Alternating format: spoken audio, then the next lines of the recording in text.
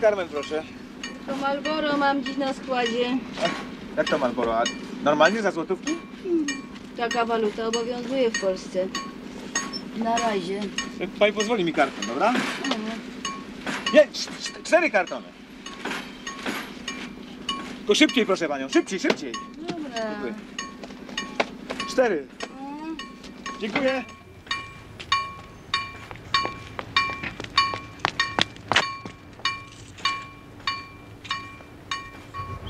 No i widzi pani, i Malboro da się upchnąć.